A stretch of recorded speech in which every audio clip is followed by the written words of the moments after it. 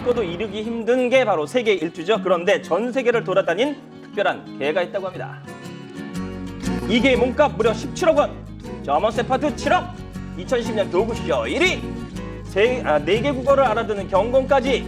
오. 예. 자, 하지만 화려한 몸값과 경력이 남부럽지 않은 개가 있으니 이름은 오스카. 오스카. 자, 미국, 중국, 프랑스 등등 2009년부터 세계 일주를 했다고 하는데요. 와. 어떻게 보면 합성사진 같지요? 저희보다 낫네요. 네, 몸소 하늘도 날고요. 바다도 건너서 여기저기 발바닥에 땀 나도록 세계 곳곳을 돌아다니는 오스카. 그런데 놀라운 것은요. 네. 얘가 유기견이었다고 합니다. 어이구, 그래요? 네, 오스카는 남아프리카 공화국의 한 사육장에서 도살되기 직전에 지금의 주인 조엔 씨에게 구조가 됐다고 하는데요.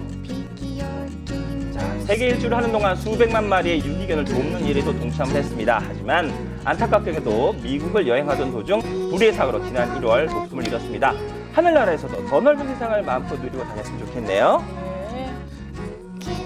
이 오스카가 남긴 사진 덕분에 유기견에 대한 인식도 바뀌게 됐고 정말 많은 그 집을 잃은 우리 강아지들이 또 새로운 주인을 만나게 됐다고 합니다. 그래요. 아쉽게 떠났지만 그때 그리고 그 이뻤던 모습들은 계속 간직됐으면 좋겠습니다.